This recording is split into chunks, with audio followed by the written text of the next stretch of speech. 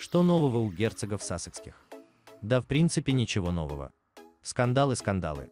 Герцоги Сассекские выпустили заявление по поводу Spotify и призвали контент бороться с фейками о ковид на платформе.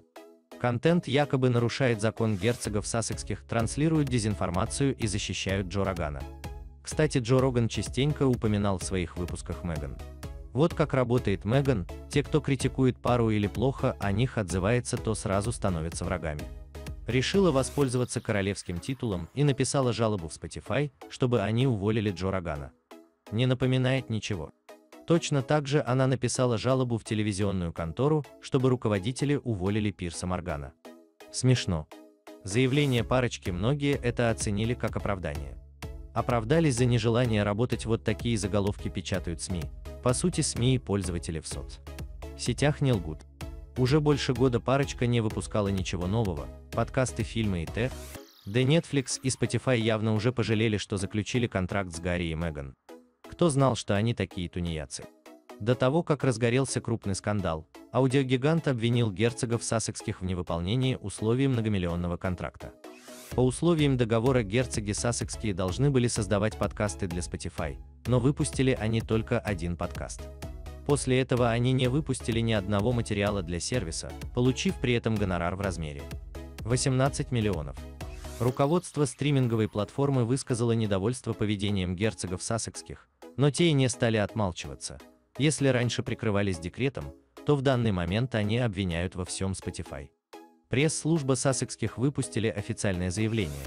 С момента создания Archival мы работали над преодолением глобального кризиса дезинформации в режиме реального времени.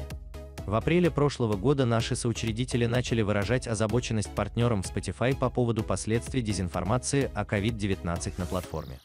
Мы продолжаем выражать нашу озабоченность Spotify, чтобы обеспечить внесение изменений в платформу. Мы рассчитываем на то, что партнеры будут действовать правильно, поэтому намерены продолжать нашу совместную работу. Мы намерены продолжить наше сотрудничество, завершили выступление Сассекса на позитивной ноте. Якобы с самого начала сотрудничество с Spotify у них не задалось. А ведь платформа в действительности помогает паре.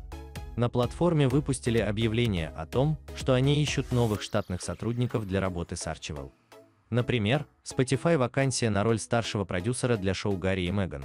Объявление. В настоящее время мы собираем команду, которая совместно с Archival создаст и запустит новое шоу с участием известных женщин. Идеальный кандидат имеет опыт работы с известными людьми и интересуется социальным активизмом и поп-культурой. Netflix – художник-постановщик для мультсериала «Жемчужина». Все работают от сотрудников фонда до руководителей платформы. А Гарри и Меган тогда чем заняты? Все вокруг виноваты, кроме герцогов сассекских. С самого начала СМИ, затем соц. Сети КС, расизм-сексизм, Пирс Морган, родственники Меган Маркл теперь же Spotify. Все эти оправдания прикрываются за нежеланием работать. Многие обвинили герцогов сассекских в мошенничестве. Общественность не перестает задаваться вопросом, чем же заняты герцоги сассекские и каковы их результаты сотрудничества с Spotify и Netflix. Ведь контракт заключили, деньги получили, а работать не хотим. Не так ведут бизнес малыш Гарри. Интересно, какое у них оправдание будет по поводу Netflix. На днях Меган, а заодно и ее супруг, принц Гарри, в очередной раз получили заряд критики от отца герцогини Сассекской, Томаса Маркла. Комментируя победу герцогини в судебном разбирательстве по поводу апелляции издания Mail on Sunday из-за публикации отрывков из ее личного письма к отцу. Получатель письма Томас Маркл выразил сожаление. Это решение не позволит ему дать показания в суде и оправдать себя от нападок Меган. Ведь он считает, что послание было не письмом любящей дочери, а списком обвинений в его адрес, о которых пять друзей Меган с удовольствием рассказали изданию People. Именно после этого он и передал письмо в СМИ, он хотел, чтобы общественность узнала, как все было на самом деле. Заодно в рамках этого интервью Томас Маркл негативно отозвался о принце Гарри, назвав его. Как бы это помягче.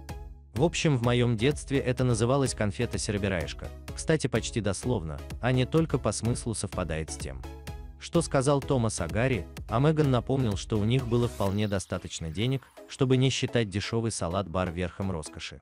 Ведь совсем недавно герцогиня Сассекская зачем-то решила рассказать, что детство и юность у нее были скудными, и обед в салат-баре Сизла был для нее просто праздником.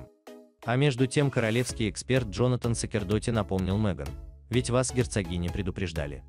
Не стоит ссориться со своей семьей, могут и не простить, и на свет Божий из их уст будут появляться разнообразные неуклюжие истории из вашей прошлой жизни. В интервью изданию Daily Express Г.Н. Сакердоти сказал, «Я думаю, что Меган сталкивается с довольно большой проблемой с точки зрения семьи. Она полностью отрезала от себя почти всех своих родственников, с которыми ранее была очень близка. Включая своего отца, который, судя по всему, всегда поддерживал дочь и оплачивал ее частное образование.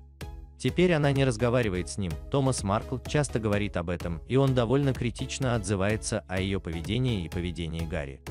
Я думаю, что мы можем ожидать, что в будущем члены ее семьи, будь то брат, сестра или отец, будут говорить о вещах, о которых она бы не хотела услышать. Джонатан Сакердоти продолжил. Мы также можем ожидать более неловких откровений о Меган в книгах, которые будут написаны о ней.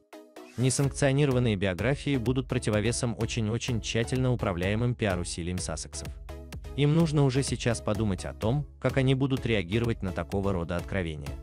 Меган прожила полжизни, прежде чем стала членом королевской семьи. У нее был предыдущий брак, семейные споры, карьера актрисы и модели. Все это может стать источником историй, которые интересны таблоидам и публике, но будут неловкими для ее новой жизни в роли герцогини. Многие из тех людей, которые знали Меган и дружили с ней долгие годы, в голос утверждают. Герцогиня Клушинди не в новинку идти по головам, использовать людей в качестве ступенек в социальной лестнице, а затем, когда они становятся ей не нужны безжалостно отбрасывать их на обочину собственного пути к славе и богатству. Уже отца так отбросила просто ради своего принципа, и он далеко не первая жертва. Возможно, поэтому знаменитости не дружат искренне с ней, а просто лицемерит, выкачивая насосом престиж и богатство из этой дружбы. Такой способ взаимодействия в природе называется паразитизм. Только непонятно, кто паразит, а кто жертва. Они друг друга стоят в своем «пока ты мне нужен, ты просто алмаз», «ты так мне важен», а потом, когда нечего стало выкачивать сразу «забудь мой номер», «ты мне больше не нужен». Гэн Шон говорит, многие знаменитости полагались на дружбу с Гарри и Уильямом, как на возможность собственного дальнейшего продвижения к успеху. Но сейчас большинство понимает, Гарри в королевской семье никто. Более того, паршивая овца, в будущем на троне воцарится только один король, и этот король Вильгельм. Так что вряд ли кто-то будет делать ставку на дружбу с Гарри и лояльность к беглому принцу. Зная знаменитостей так, как их знаю я, могу дать принцу Гарри только один совет. Пусть наслаждается моментом, пока кто-то из звезд еще желают дружить с ним и Меган Маркл. А нифига. Меган кинула всех раньше, отбросила как биомусор. Так что Хазик и вампир-петух, наслаждайтесь тем вниманием, которое у вас есть, а то потом останетесь у разбитого корыта, если будете много хотеть. Понравилось видео? Ставьте лайк, подпишитесь. Есть собственное мнение на этот счет, пишите в комментариях, обсудим. В этом заголовке прекрасно все. Принц. Ох, целый принц. Или, может быть, все же капитан армейского воздушного корпуса. Это последнее его воинское звание, которое он получил 16 апреля 2011 года за все его 10 лет службы в действующей армии Великобритании. Все остальные были почетными королевскими. Нарушает молчание. Ну, может быть, по поводу событий в Афганистане. А так, то капитан армейского воздушного корпуса не только бросил свою королевскую службу и был лишен королевских военных покровительств в Великобритании, но и болтает направо и налево ежедневно, оскорбляя королевскую семью, свою семью, и тем самым оскорбляя и поданных британского королевского дома. Обратившись к коллегам-ветеранам, но мы же только ССС, все помним, что две боевые командировки его высочества в Афганистан были ничем иным, как почетной ссылкой для избавления от зависимостей и от скандалов, которые окружали Шалуна Гарри. И свое время в боевых командировках в Афганистане он проводил в специально охраняемом бункере, где резался со своими телохранителями PlayStation, иногда позируя для боевых снимков.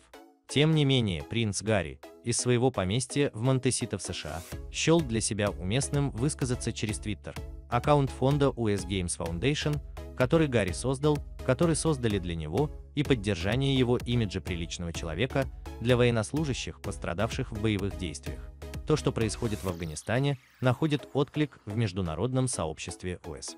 Многие участвующие страны и участники в семье US Games связаны общим опытом службы в Афганистане в течение последних двух десятилетий, и в течение нескольких лет мы выступали вместе с командой US Games Team в Афганистане. Мы призываем всех в сети УС и более широкое военное сообщество обращаться друг к другу и предлагать друг другу поддержку. Что-то у меня далее и слов нет. А у вас? Пишите в комментариях.